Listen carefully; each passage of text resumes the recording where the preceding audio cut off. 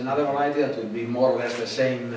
On the same segment also. В этом же сегменте это другой э, гибрид Pink Moon. Excellent, розовая uh, луна. Especially excellent for the low outstanding, shelf life long shelf life. and for second cultivation.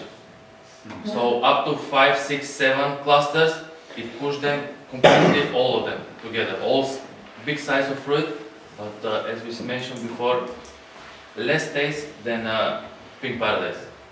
Это э, тоже в этом сегменте для длительного хранения и для перевозок. Томат э, Pink Moon, что в переводе розовая луна означает.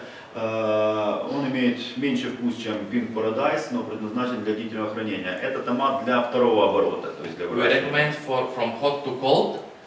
Uh, main opportunity is because uh, during the cold condition, breaking color is very fast. So from uh, red, from uh, slightly green to pink is going very fast. Этот томат еще имеет преимущество для второго оборота, когда наступает холодная, э, холодная погода, он очень быстро насыщается окраской. То есть, вы знаете, когда холодная погода, то есть окраска может быть разносторонняя, то тут получается очень быстро с зеленого до розового, очень быстро как бы набирается окраска. And this is also resistant to nematode and cladosporium. So Э, Точно так же этот томат устойчив э, к нематодам и клаудиоспориозу. Спасибо за внимание. С вами был ваш супермаркет семян. Подписывайтесь на наш канал и ставьте лайки.